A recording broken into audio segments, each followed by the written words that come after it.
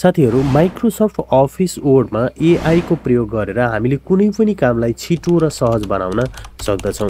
Chat GPT Microsoft विङ लगायतका AI टुल्सहरूको प्रयोग गरेर हामीले कुनै पनि विषयवस्तुहरूको बारेमा उसलाई सोध्न सक्छौँ र ती एआई टुल्सहरूले हाम्रो प्रश्नलाई सही तरिकाले उत्तर दिन सक्छन्। त्यसै गरेर माइक्रोसफ्ट अफिस वर्डमा तपाईँले कुनै पनि कार्यहरू गर्न किन नहोस् त्यसमा हामीले एआईको प्रयोग गरेर सक्छौँ। तपाईँले कुनै पनि विषयवस्तुहरू जुन हामी माइक्रोसफ्ट अफिस वर्डमा गर्न सक्दछौँ जस्तो टाइपिङ गर्ने कुराहरू होस् एसी लेख्नु पऱ्यो मानौँ है। तपाईँलाई एसी लेख्नका लागि तपाईँले मेनुअली टाइपिङ गर्नै पर्दैन। हामी एआईको मद्दतबाट नै यी सबै कामहरू गराउन सक्दछौँ। कुनै लेटर लेख्न होस् कभर बनाउन होस् अथवा तपाईँले आफ्नो बायोडेटाहरू बनाउनुहोस्। तपाईँले कुनै पनि काम टाइपिङ गरेर जुन काम गर्नुहुन्छ त्यो काम एआईको मद्दतले गर्न सकिनेछ। आजको यो भिडियोमा हामी माइक्रोसफ्ट अफिस वर्डमा एआईको प्रयोग कसरी गर्ने भन्ने बारेमा तपाईँहरूलाई बताउन गइरहेका छौँ। सुरु गरौँ आजको यो भिडियो।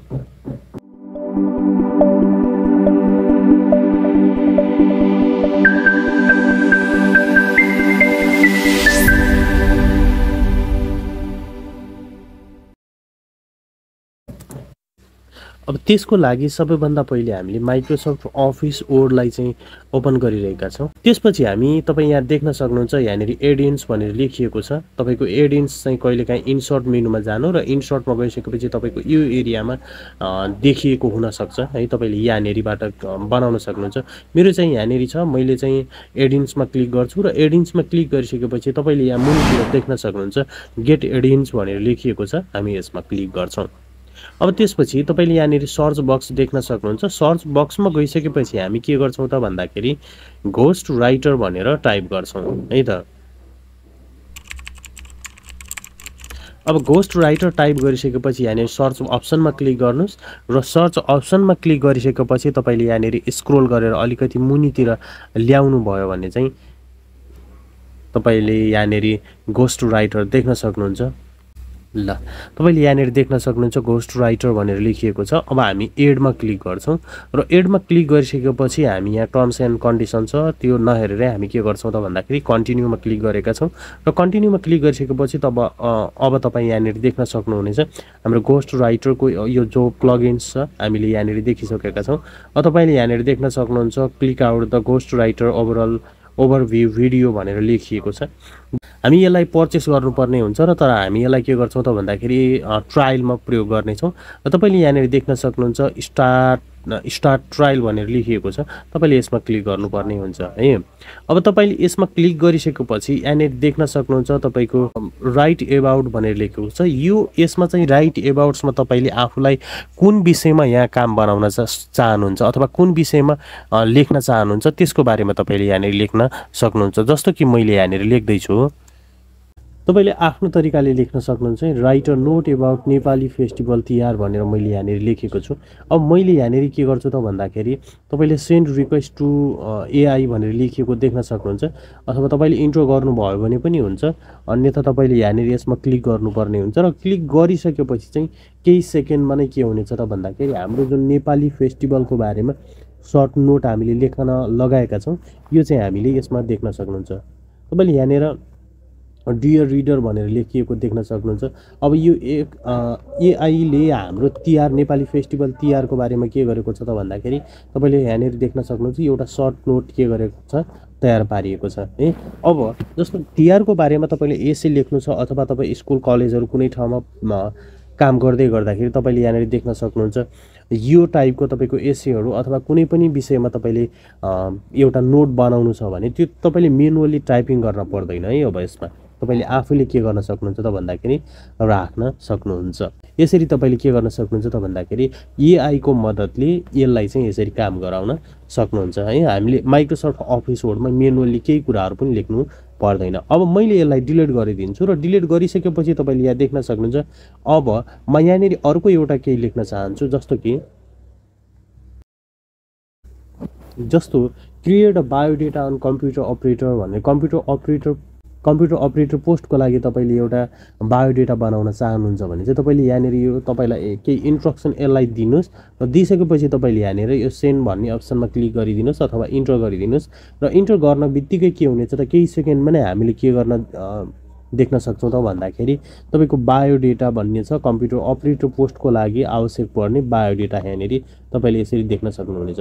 अब मेनुअली यहाँ लेखेको छ नेम भनेर हामीले यो नेमलाई चाहिँ हटाएर आफ्नो नेम लेख्नु पर्ने हुन्छ। प्रोफाइल समरी तपाईँले यहाँनिर high skill and knowledgeable computer operator with fifty years of experience भनेर तपाईँले यो देख्न सक्नुहुन्छ। तपाईँले आफ्नो आवश्यकताअनुसार केही चेन्ज गर्न सक्नुहुन्छ मेनुअली सेटिङहरू गर्न सक्नुहुन्छ। तर हामीले जसको मोटामोटी रूपमा हामीले आफूलाई चाहिने कुनै पनि विषयहरू यसरी हामीले यसबाट ल्याउन सक्छौँ। जस्तो पर्सनल इन्फर्मेसन तपाईँको डेट अफ बर्थ यहाँ सच्याउन सक्नुहुन्छ जेन्डर सच्याउन सक्नुहुन्छ नेसनालिटी तपाईँको के हो है तपाईँले यसरी राख्न सक्नुहुन्छ म्यारिड यो सबै देख्न सक्नुहुन्छ। र आफ्नो आवश्यकता तपाईँले यसलाई कस्टमाइज त गर्न सक्नुहुन्छ तर हामीलाई आवश्यक पर्ने मेनुअली यो जुन बायोडेटा छ यसरी तयार पार्न यसबाट सकिन्छ। है हामी अर्को एउटा कुनै यसमा चाहिँ इन्स्ट्रक्सन दिँदैछौँ। तपाईँले यहाँनिर देख्न सक्नुहुन्छ I'm a student and today I'm feeling not well write a leave application भनेर मैले यहाँनिर इन्स्ट्रक्सन दिएको छु। अब तपाईँ यसमा देख्न सक्नुहुनेछ मैले यसमा जसरी यसलाई यो इन्स्ट्रक्सन सेन्ड गरेको छु र इन्स्ट्रक्सन सेन्ड गरिसकेपछि तपाईँले केही सेकेन्डमै यहाँनिर देख्न सक्नुहुन्छ। हाम्रो जुन विधाको बारेमा हामीले एप्लिकेसन लेख्नुपर्ने थियो त्यो एप्लिकेसन चाहिँ यहाँनिर अलरेडी के भएको छ त भन्दाखेरि आइसकेको छ। अब तपाईँले यहाँ देख्न सक्नुहुन्छ तपाईँले यहाँनिर नेमहरू केही चेन्ज गर्नुपर्ने हुन्छ तपाईँले कसलाई लेख्दै हुन्छ है रिसेप्सनिस्ट नेम भनेर लेखिएको छ। कसको नाममा पठाउँदै हुनुहुन्छ तपाईँले यहाँनिर यसलाई राख्नुपर्ने हुन्छ। I hope this email find you अथवा इमेल हो कि अथवा तपाईँले लेटर हो तपाईँले यहाँनिर यसलाई सच्याउन सक्नुहुन्छ है। तपाईँले यहाँ देख्न सक्नुहुन्छ I am writing to inform you that I am feeling unwell and not not in a condition to attend class today भनेर लेखिएको देख्न सक्नुहुन्छ। यसरी हामीले के गरेका छौँ त भन्दाखेरि एआईको मद्दतले आफूलाई चाहिने कुनै पनि एप्लिकेसनहरू यसरी राख्न सक्छौँ। अब तपाईँ जुनसुकै सेक्टरमा काम गर्न सक्नुहुन्छ र तपाईँले काम गर्ने सेक्टरहरूको बारेमा विभिन्न फरक फरक तपाईँहरूको काम गर्नुपर्ने विभिन्न क्षेत्रहरू हुन सक्छन्। त्यो आफ्नो तपाईँले जुन क्षेत्रमा काम गर्नुहुन्छ त्यही अनुसार तपाईँले के गर्न सक्नुहुन्छ त भन्दाखेरि घोस्ट राइटरको मद्दतबाट अथवा एआईको मद्दतबाट माइक्रोसफ्ट अफिस वर्डमा तपाईँलाई आवश्यक पर्ने कुनै पनि कामहरू यसरी सहज बनाउन सक्नुहुन्छ। अब तपाईँले यही एप्लिकेसन लेख्दाखेरि तपाईँको टाइम कति जान सक्थ्यो है?